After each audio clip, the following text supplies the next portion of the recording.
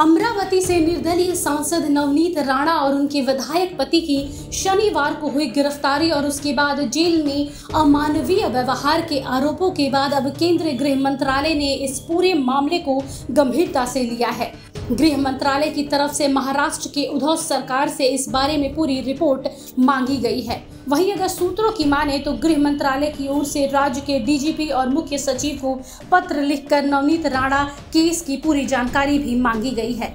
वहीं अगर समाचार एजेंसियों की माने तो एमएचए ने महाराष्ट्र सरकार से स्वतंत्र लोकसभा सांसद नवनीत राणा की गिरफ्तारी और खार थाने में अमानवीय व्यवहार के आरोपों के बारे में एक तथ्यात्मक रिपोर्ट मांगी है। लोकसभा विशेषाधिकार और आचार समिति ने एमएचए से पहले एक रिपोर्ट मांगने को कहा था।